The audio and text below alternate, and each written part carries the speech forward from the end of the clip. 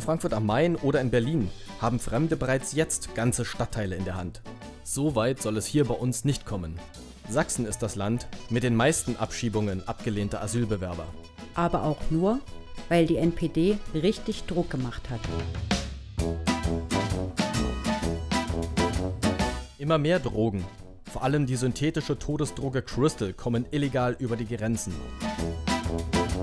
In Sachsen wurde nun endlich ein Handlungsplan dagegen aufgelegt.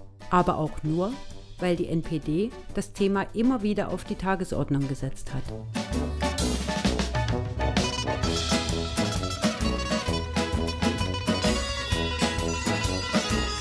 Seit der Grenzöffnung zu Polen und Tschechien haben Eigentumsdelikte massiv zugenommen. Nun wird endlich dafür gesorgt, dass grenznahe Polizeireviere erhalten bleiben. Aber auch nur, weil die NPD dazu den Anstoß gegeben hat. Liebe Bürgerinnen und Bürger, Sie sehen, die NPD wirkt. Wenn Sie wollen, dass es auch in den nächsten fünf Jahren eine echte Opposition im Sächsischen Landtag gibt, dann müssen Sie am 31. August die NPD wählen. Und denken Sie daran, die Zweitstimme entscheidet.